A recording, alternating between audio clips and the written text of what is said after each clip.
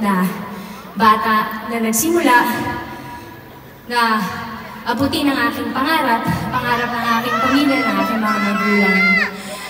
Hindi po counted pa yon. Kung saan-saan na po kami nakarating ng mga magulang ko. Kung ano-ano na mga pinagagawa namin, makapasok na po ako sa show business.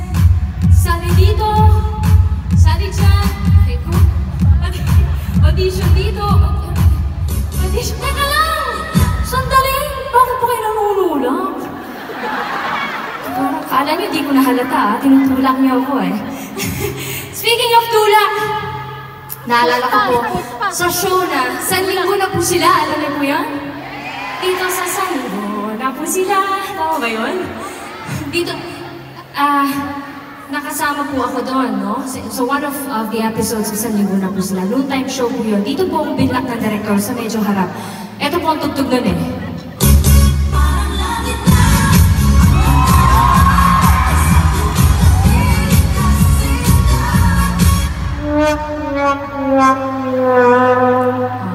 Yung mga kasama ko pong ibang bata, yan, sobra po silang bibo.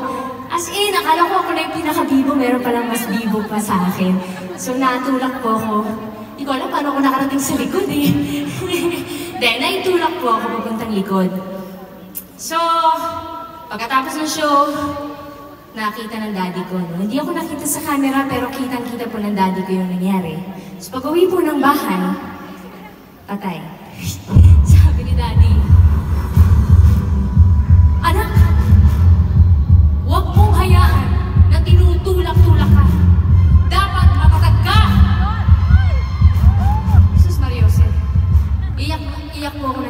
daddy. Ako na nga tinulak eh. Hindi eh. Talagang uh, lesson learned yun para sa akin kasi nagpatulak nga naman ako. Biruin mo, ang haba-haba po ng uh, pinila ko para lang maka, makapag-guest ako doon. Yun na nga nangyari.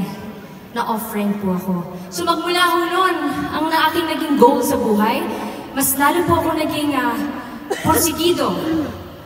Mas lalo po ako nag-persevere. At ang naging goal ko ay maging singhusay ng aking iniidolo, Michael Jackson! Michael Jackson!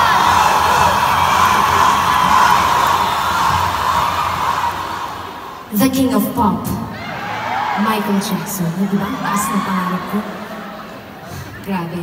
So, the first time po na magkakaroon ng Conscious MJ in Manila, that was in 1996. Malaki ang pananampalataya ko sa daddy ko, Daddy, manonood tayo niyan.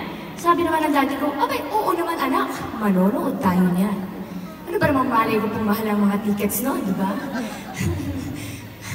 so, dumating po ang araw ng concert. Ano na, Daddy? Concert ng MJ. Anak, wala pala tayong pabili ng ticket. Ang sakit po. Pasok mo yan. Pasensya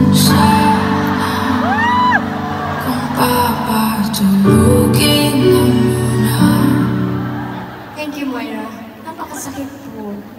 Kasi talaga pag tinandaan ko yun, Daddy, manonood tayo. Oo naman, anak. Yun pala, wala. Masakit po. Buti na lang. Meron po akong mga kapitbahay na avid fans ni MJ. Nangangapit-bahay ako, nagkikinood ako ng concert ni MJ sa Betamax. Ate pa play. Play. Grabe talaga. Ang galing niya. Umiiyak ng mga tao sa galing. Grabe, pati ako naiiyak. So pag uwi ko po ng bahay, inspirado, inspirado ako mag-ensayo.